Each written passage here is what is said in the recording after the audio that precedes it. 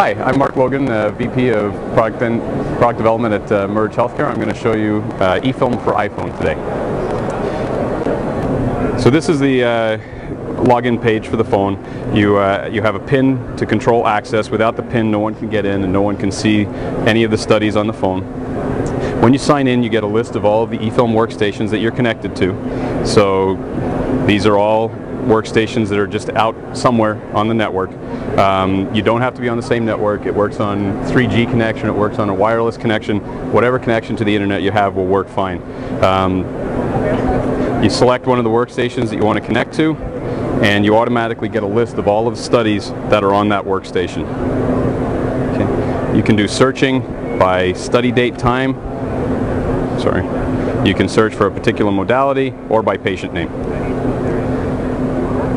Studies are sorted by patient. If there's more than one study for a particular patient, they're grouped with the patient so you can actually scroll over and see the multiple studies. Okay. To open a study, let me just find, here's one that I actually have. Uh, let's try this one. Click on the, the study, you get a list of the series for that study and thumbnails for each of them. From this page, you're actually able to click this button and get a list of DICOM destinations from eFilm Workstation and by selecting one you can tell your eFilm Workstation to send it to that destination. So you may want to do that if you're sitting at home at night and you're looking through all your studies that are on your workstation. You say, wait a second, this one needs to be read right now so you could actually send it to the radiologist on call or whoever's reading right now and they can read it right away.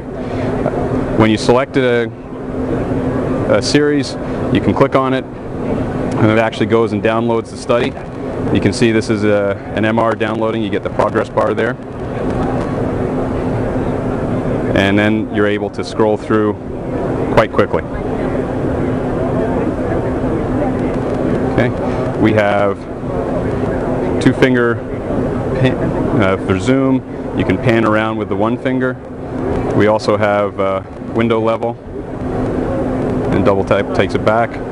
And then you have, sorry, the actual study information is available. Okay. By selecting one of these little buttons here, you can actually download to a study gallery, so it's available offline. So again, it just you can watch it download.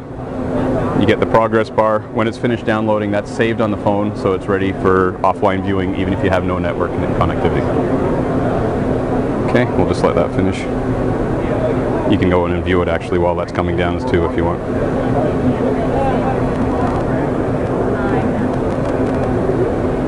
There we go. So again, same thing. You can scroll. Sorry, hard to scroll from the wrong angle on these things.